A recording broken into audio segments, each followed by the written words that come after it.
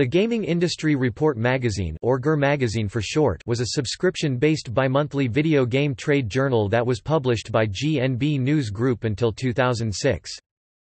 The Gaming Industry Report magazine was shut down in 2006. However, it was relaunched as a free online magazine by GNB News Group in January 2006. Then in 2007 JEMS Media Group had plans to relaunch the publication in 2007 as a video game newspaper instead of a magazine. The Gaming Industry Report is currently being run by Jeremy Meyer who holds the position of publisher and editor-in-chief.